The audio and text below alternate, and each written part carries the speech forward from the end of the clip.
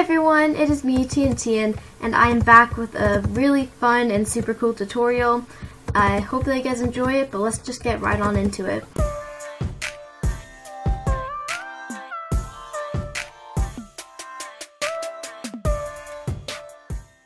So a while back in one of my Let's Play videos, I said that I wasn't going to do many tutorials anymore. Uh, if you guys have like any complaints, uh, like if you guys really want me to do another tutorial, let me know down in the comments. And I got a comment from Killer Gaming and GD. And his comment just said tutorial, tutorial, tutorial, tutorial. This went on for like about 50 more tutorials. And I decided why not. So, uh, back to square one of making a tutorial is figuring out something to do. Now this was one of my least favorite parts, but I did some searching and Doc, I think 78 is his name, DocM78. Uh, he is a very famous YouTuber on the Hermitcraft server. If you guys want to go check him out, link in the description below. Uh, he's making a super awesome creeper cannon uh, in like this prank war that's going on in the Hermitcraft server and I thought that it was so cool. So I didn't look up as I, I like I, I, didn't really watch Doc that much, uh, and I didn't really want to see how he planned to make it. So I decided to go uh, do my best to do it myself, and I, I'm actually quite proud of myself. So I thought I should come and share with you guys today. So let's just start. So first, how effective is this thing? Well, we spawn a creeper right here, and we press this button, I disabled um, the uh, particles that TNT makes, and you can see that the creeper disappears immediately. However, the creeper isn't dead, considering all this TNT, and that is because of a very important potion, which is called, a, a, well, it's a splash potion, but it's the Turtle Master. And what this does is it gives you really high resistance, and it basically allows you to survive lots of very harsh attacks, such as TNT. So as I press this button, it's basically splashing out this potion, uh, which is making the creeper have really, really high resistance, and it's also splashing out slow falling. So once it lands, uh, once it like gets really high up into the air, it'll not just fall down to its doom. So really fast, I'm going to demonstrate this one more time, how fast this guy goes up in the air. And then one more thing that I want to show you guys. Check out how powerful this is. I'm, I'm just standing from like here. That's pretty far distance away considering Okay, so not the best examples. But a better example is if we place a creeper here, we press this button, we go into spectator mode really fast and go see what the creeper's seeing, and then we get launched off, and you'll see that my computer totally crashes and freezes. Uh, this is actually just the game freaking out for some reason. As you guys can probably see, the clouds are still moving and everything. Uh, but if we hit shift and get out of spectator mode, uh, just like a five, five minutes or something, then we'll actually be where the creeper is now. So I'm going to cut. Alright, so hopefully my computer loses the creeper because sometimes it does not. It's only been actually like one minute. Five minutes was exaggeration. But, ooh, the creeper has actually landed, which I was not expecting. Uh, but if we look, we're at negative, uh, 22. Now, this means nothing to you guys because you don't know how far away we are. But if we head all the way over here, this we're we were at positive 10. So that's like um 30, 100, 130, right? Yeah, yeah, because we are yeah. Uh, so that's actually like really far. But you guys might be thinking, man, dude, it crashed. That's totally not true. Like, you could just be making everything up. But I'm not, because I'll show you guys right now by doing the TNT cannon on myself. And this time it won't crash because Minecraft's weird. and it's on myself, not on a creeper. But as you'll see, we're falling very, very slowly to take away fall damage. But let's just drink some milk to take away that slow falling effect, and uh, we should be falling fairly quickly. And you can see already that we traveled 135 blocks. It always varies. And that's a crazy amount, guys. So, creeper, you can totally blow up people's bases using creepers and sending them, like, way far out. Uh, now, the only problem is I don't know how to get a creeper into this place I was thinking, but I, I don't want to blow this thing up. But I was kind of like thinking, you know, putting a trapped door over here. and then having it open and then spawning a creeper. Well, not spawning, but finding a creeper and like having it chase you. And I'm pretty sure they think that this is a solid block or something like that. So maybe that would work. Actually, I think that you have to have it like. No. Wait. Yeah, you have to have it like that and have both of them open. I'm pretty sure then they'll think that everything's like correct. Uh, I'm actually going to go do a little bit of research on that. Go into survival mode. Alright, he's targeting me. Let's jump across that. And he should, yep, he just fell right down. And then from here, we just press the button and we're good to go. So, oh, well, he's in the water, so it actually won't destroy anything, but it will kill me. Okay, team, we get it. Just tell me how to build it.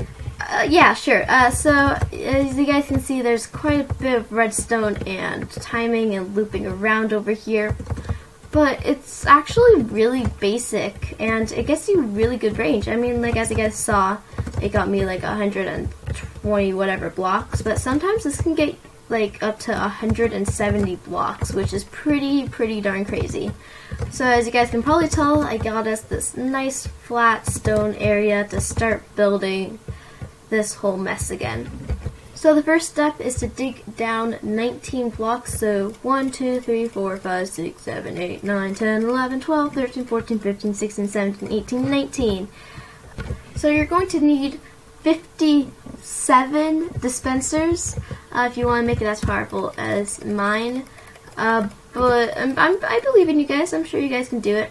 So now what you guys want to do is you want to dig down three, um, three of like the edges, like this okay, so this is the middle, right? You want to go dig down this guy, this guy, and this guy. And basically this is going to decide which way your cannon fires. In this case, my cannon is going to fire this way. But like, let's say that I filled this back up right here, and instead I destroyed this half, then my cannon, cannon would fire that way. Uh, I hope that makes sense. But anyway, I'm just going to make it so that's facing this direction. Now what you need to do is you need to place all your dispensers, all 57 of them, as I said earlier, facing towards the middle in these kind of gaps right here. So also in this place right here, and then I'll also be doing it on the other side, but this is quite boring to watch, so I'm going to do a cut. Once you have all the dispensers placed, you have to fill each and every one up with TNT. The amount of TNT you have in each dispenser the amount you can fire. So like I have 64 in this, uh, 9 stacks of 64, so I can fire this 64 times 9 times, which equals 576. Uh, but like if I only have stack, then I can only fire this 40, 64 times. I mean, like, yeah, I, I think you guys get it. It's pretty simple. So I would just like to say really fast that I'm sorry for the poor audio in those last clips. I forgot to plug in my Blue Yeti, so that's great. Anyway, now, since you have all this now loaded up with TNT, that is great. Uh, quick warning though, it's going to be kind of difficult to load these up with TNT again, so I suggest getting a bunch of TNT in here the first time. So anyway, now you should have something that looks kind of like this. Now what you want to do is you want to come down here, well, well, you want to go over here. It's going to be hard for people in survival, but you want to dig out a little bit, and you basically want to place a block every other dispenser like that and make sure that this one uh, is like not not in it. Well anyway uh, so you're just going to continue this all the way down and then you're also going to do it for these dispensers too. Like so so I'm gonna finish up with this. Once you have done that you just want to bring these out uh, three blocks. These ones you should bring out three blocks this one two blocks and you want to do this for each and every one now that you have all these platforms, what you want to do is you want to take some repeaters, and for the seven uh, layers down at the bottom, so this is the second, third, you just want to place repeaters at one ticks. So that's third, this is fourth, fifth, sixth, and then seventh. And then you want to stop here because we're going to kind of be messing around with a lot of stuff.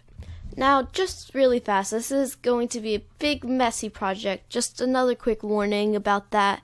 it's it's big and it's quite messy. Uh, but anyway, what you want to do now is you want to take some redstone and you want to just connect up all these repeaters together like so. Uh, actually, no, no, no. Connect every single one up with repeaters. I, I don't really know what I was thinking, guys. Yeah, you, you, you, you do them all. Now what you want to do is you want to come and you want to make a slab tower, I think they're called. Basically, you want slabs kind of going up like this. So you can have one here like this and like this and right here and right here and right here and right here and basically you continue all this up. So once you have all the slabs, it should look like this, and you want to put redstone on each and every one of them.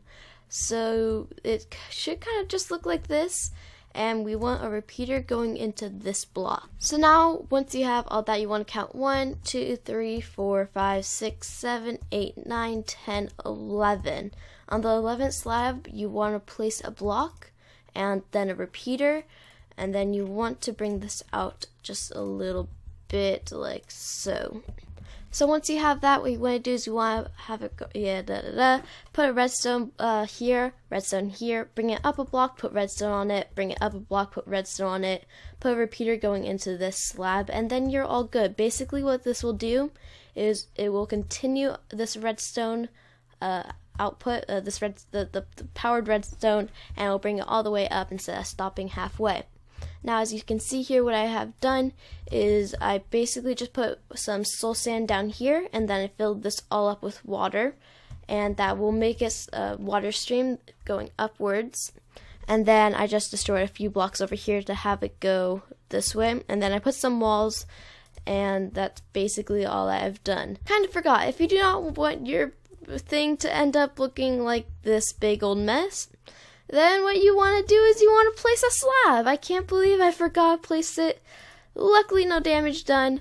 But uh, yeah, please be careful about that. Please remember to place the slab there. Please, please, please, guys.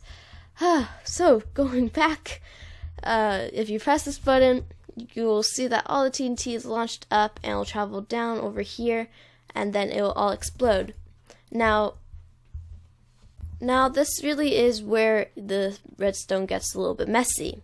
Now you place a button wherever you want it to be. It can be on this side, it can be on this side. I'm gonna do it here for example, for this example, and I'm actually gonna try and make it a little bit nicer than my other one by going underground. And okay, good thing that water did not just come fall on me. Uh, but anyway, basically I'm going to continue it, and don't worry if it connects if you're going underground like me, because we will just be crossing it out like that. And then you just want to continue going all the way downwards. And if it does hit one of these slabs though over here, then yeah, you, you might want to just bring it all the way around.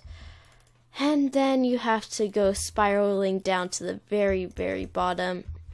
Uh, this just basically connects it so that when you press the button at, at on the top, it will basically activate it. If you didn't have this, then, well, you'd have to be at the bottom and the splash potions would be a mess. So I'm just going to continue going all the way down. So now you should have something that kind of looks like this, or if you don't, that's totally fine, as long as the button connects all the way to the bottom, so I have all this. Now the only thing is, you do have to make sure the redstone, um, the power redstone goes all the way to the bottom, so add a few repeaters here and there, it can get a little bit confusing, so that's going to be powered so that I can go here, like that. Uh, so you just want to keep on doing this until you get to the very bottom yet again.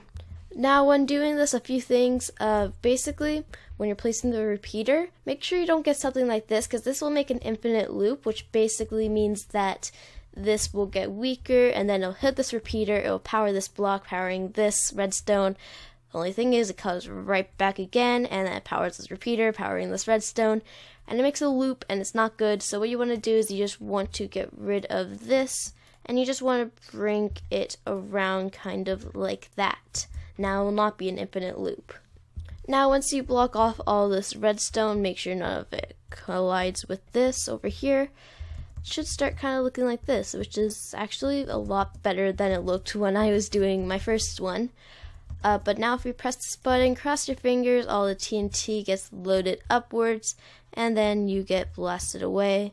Uh, now it is interesting that one piece of TNT came up very, very fast. So I'm going to look for anything that connected with this and made that one piece of TNT. See, that one goes up really fast.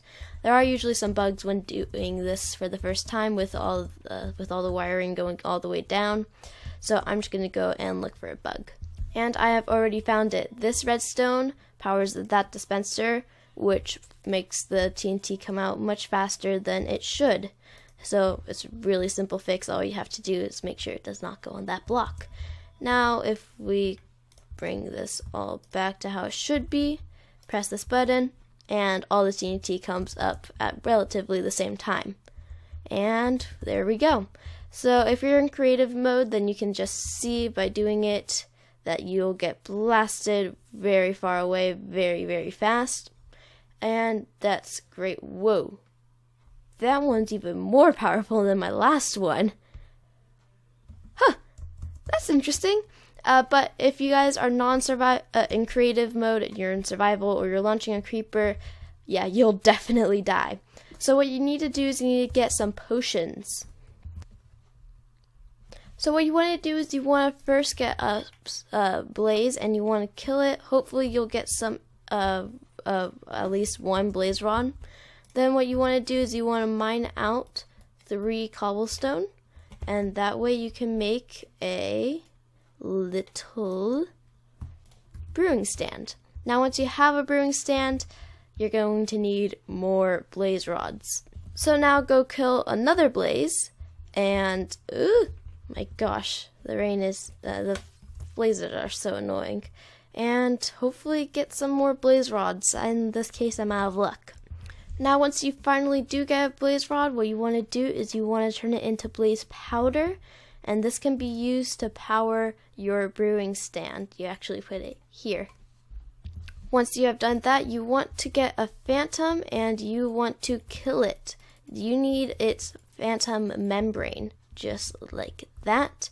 And then what you want to do is you want to go get some glass bottles. So you obviously are going to need some sand and then you put this in a furnace and then you will get some glass you can put into a crafting table to get some glass bottles so to make a glass bottle what you need to do is you need to just place in three glass just like that now you have three glass bottles and then you need to fill these up with water just any water source you click it three times to fill up each one now because i'm in creative mode i still have three glass bottles but i also did get apparently four uh, bottles filled with water now what you want to do is you want to go to your brewing stand and you want to place in all three of your water bottles. Now you'll have to take another trip to the nether because you're going to need some nether warts. And once you put that in, it will start brewing these three water bottles and making them into an awkward potion. Now, an awkward potion does literally nothing. That's why it's called an awkward potion because it's awkward to have. Uh, but once you have an awkward potion, you can make that into an actual potion. Now, if you put in a phantom membrane, once you have three awkward potions like so, then it'll turn it into a levitating, a slow falling, slow falling, I believe it's called, potion. So I'm going to wait for this to brew. So once you have these three potions, you can take them out. And then if you'd like to, you can get out some redstone. I don't know if you guys will need it, but it's just worth putting it on. Basically, this will extend the time of how long it lasts from 1 minute and 30 seconds to. Honestly, I don't know how many seconds, but it's, it's a decent time. Well, apparently, it'll st- extend it to 4 minutes. I don't think you guys will need that long, but just if you guys want to. And you cannot extend it any farther. So that was the easy potion to do. Now it's time for the little bit harder one to do.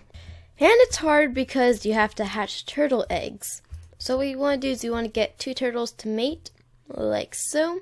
And then one of the turtles is going to make a bunch of sand particles. And you have to wait a minute, and they should start to plant an egg. And then eventually you should get some eggs that kind of look like this. Now, just as a quick little tip, if you get a pickaxe or something, and you enchant it into a, a silk touch, oop, TNT in, uh, then you can actually pick up these eggs. Like, I'm in creative. I need to be in survival, but you you guys get it. You you have to go into survival, and you can actually pick up these eggs like so, and then you can move these wherever you want. The only thing is they will only hatch if they are on sand. So I'm actually just going to put them back right there. And this is going to be really, really hard, guys, because this is going to take a very, very long time. And I suggest mating them quite a bit, because you'll need, you'll need a lot and a lot of eggs. But basically, you're just to sit here for like 10 hours, probably even more, just waiting for the eggs to hatch. So I suggest going overnight and letting all the eggs that you guys get hatch, and then you'll be good. But once the egg does hatch, you'll get a tiny turtle just like this. Look at how cute he is. Oh my gosh, he's so adorable. But what you want to do is you want to then feed him a lot and a lot of seagrass. And any minute now, any minute. Oh my god, I'm still feeding him, guys. I am still feeding him seagrass. There we go. He'll eventually turn into adult, and you'll get a scute. Scute, I think. I think that's how you pronounce it. So yeah, this is going to take just a very, very long time. Basically, you're going to need five scutes for three potions. So it's it's going to be a real struggle, struggle, guys. But I mean, this this thing's really cool and I think it's worth it. So I'm I'm gonna just be sitting here for a day. Alright, here we go. We're going to first make this guy grow up. For the record, I didn't actually sit here for 10 hours. I just I just destroyed the eggs and spawned some babies. But anyway, we're gonna make them grow up now. Uh, so this is I'm actually gonna do myself, and this is going to take a long time. Oh my gosh, look at how cute these little turtles are! They're swimming! Uh, uh, Minecraft is actually an adorable game at some points. Anyway, I have six scutes. That's more than enough. And you want to make oop, a turtle shell. Now, basically, this can go into a brewing uh, stand once you have three awkward potions and you still have power. You put this in and you let it wait. Let it wait. I mean, let it brew. I, I, I can't speak. Now, once you have potions that say slowness uh, 4, uh, now what you want to do with your three potions of resistance, you want to place some gunpowder, and this will make it so that they turn into splash potions. Now that you have that, just place some redstone, and this will make it last a little bit longer. You don't really need it, but I like to just do it to have it. Also make all your uh, slow falling potions splash potions too. Now for the last part, and that is getting all the splash potions and everything together. So what you want to do is you want to put a bunch of splash potions up in this area. By the way, this is one, two, three, four, five, six blocks of water stream, not counting this one right here. So one, two, three, four, five, six. You want to bring it out that far, and then on you go back one and you put your dispenser there, and then your hopper, and then a chest on each side. And then you don't have to have these all the way up, but the more you have, the better, the more you can use this machine. And then what you want to do is you just want to start putting them into here, and then uh, that will basically just fill up your dispensers and everything, which is all great. But what we want to do is we need to hook up all of this. Now, if you put the button in the same exact place as me, then you can just copy what I did. If not, then you kind of have to figure it out for your guys for yourself. So basically, the button comes down, it powers all this stuff. The, let's go to the simple place first, which is right over here. It goes underneath. There's water right there, so I'm not going to dig that out because, well, all this redstone would be ruined. But it comes up from this side, up here, up here, into this repeater, which goes into this dispenser. Pretty simple there. Now over here we have a little bit different because, well, there's this. I just wanted to be fancy for this one but basically, this is really simple. Powers, this gets powered, goes into this repeater, powering this block, powering this dispenser. That's all good, but then it also goes down over here into a very, very long delay, and then into this uh, redstone output extender. It basically extends the output, and then it goes into this uh, redstone redstone, and then it goes into this block, which unpowers this uh, this redstone torch, which unpowers this block, which unpowers the redstone on top of this block, which unpowers both those pistons. So basically, when that redstone torch is on, then everything is good. These are extended, and the person or creature in here can't really get out unless they travel up the water stream, and well, mobs are not that smart. But I I don't I'm not positive, but I'm pretty sure it's better to have these blocks removed if you want a longer distance. So what I have done is basically it makes it so that the pistons retract. Once the TNT is about fire, I've taken off particles for the TNT so you can see there it goes. The TNT launches and then it closes up behind it. So if we go and go into here, you can see the doors are closed, opened, TNT blasts us off way into the distance. And that is it, everyone. That that's all we have to do. It's a, it, it is a lot, but it's very cool. And with this, you can get around 200 to 170 to 150 to 140, depending on how many dispensers you put at the beginning. You can make this larger. The only problem is that the larger you make it, the less TNT will get up to the surface and eventually just hits a point where it doesn't even matter. Another thing, if you want to make this larger, is you have to be very careful uh, with how much of um, with the redstone output. Make sure it's reaching all the way, or else you have to do that thing where we at the beginning ish part that we did uh, with that repeater, uh, where it basically extended the output. I'll show you guys that right now right here where you have to go through all this and then travel it up and you just have to do that again make sure that it reaches all the way to the top but anyway finally we've reached the end i hope that you guys enjoyed this very long and complicated video i'm very happy to say that i totally made this up by myself like made everything work by myself i did not get any help except for the fact of doc giving me the idea but I didn't like really look at his redstone at all. So I think that's pretty an awesome tutorial. And I, I really hope that you guys enjoyed it because it was really hard to make. But if you guys did enjoy it, then please hit that like button and please, please hit that subscribe button. But thank you guys so much for watching, and I will see you guys in my next tutorial or Let's Play. Goodbye.